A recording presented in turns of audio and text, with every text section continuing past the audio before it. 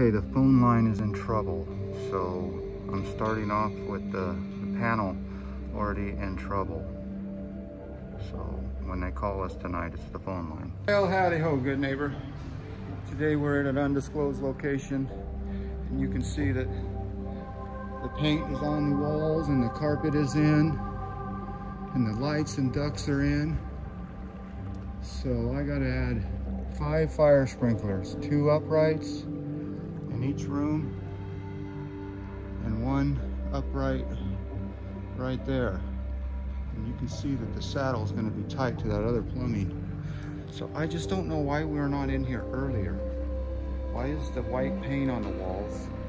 Why is the white lights in? Those are lights actually now.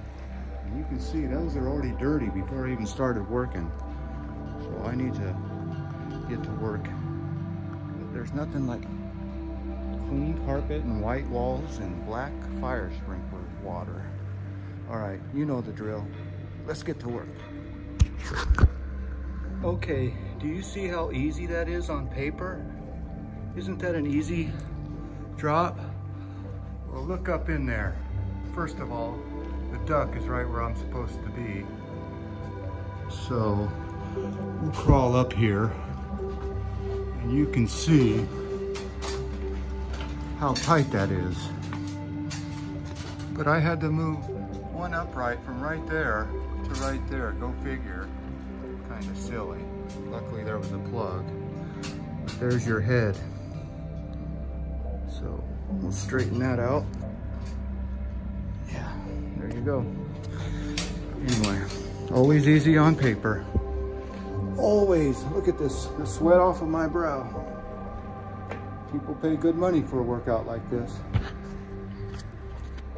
Well, howdy ho, good neighbor. I just turned the water on on this fire sprinkler system at this undisclosed location.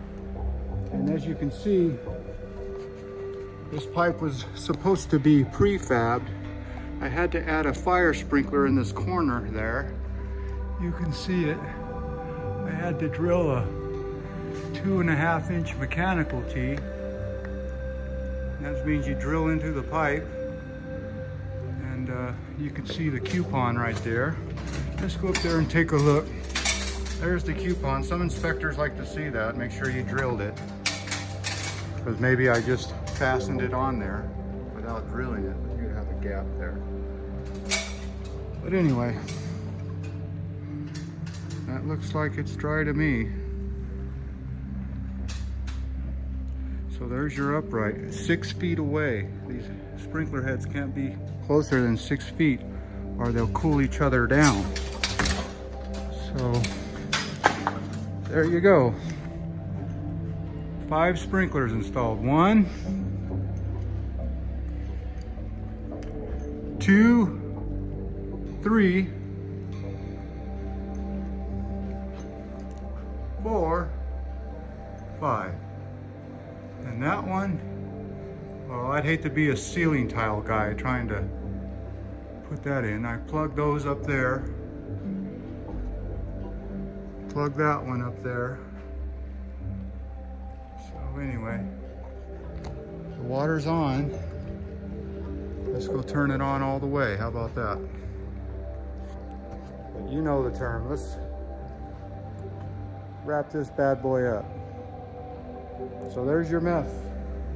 No drips, no runs, no errors, Except for the guy designing it. He makes errors all the time. All right, peace, love. And all that hippie jazz.